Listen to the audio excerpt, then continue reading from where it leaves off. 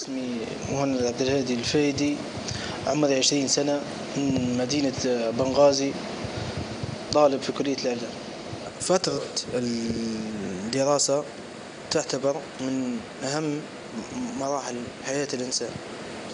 وأنا نطمح للحصول على شهادة شهادة أكبر. وهذا بفضل الله ومن ثم أصدقائي لأن هم اللي من شجعوني إن أكون إنسان إنسان جديد. لما تبلغ العشرين من العمر يكون شعورك غالبا الثقة بالنفس والرغبة في الحياة. ونحب آه، الرياضة من نوع كرة القدم وكنت آه، من أحد لاعبين النادي الهلال عندما صارت الحرب على بنغازي والتحقت بها وفقدت رجلي.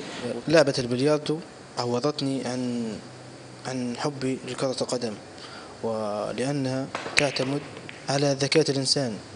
فكيفية تحديد تحديد الهدف؟ وأصبحت جزء من حياتي. فترة الشباب في العشرين هي هي القاعدة التي يبدأ منها كل شيء. هي التي تحدد إذ كنت ستعيش حياة مختلفة. بعد بعد فترة الدراسة نجي المكان العملي والقهوة إعداد القهوة والمكان اللي نتلاقى فيه أنا وأصدقائي. كيف آه، تعيش في بلادي؟ عادي ك... كأي إنسان عايش في بلاده.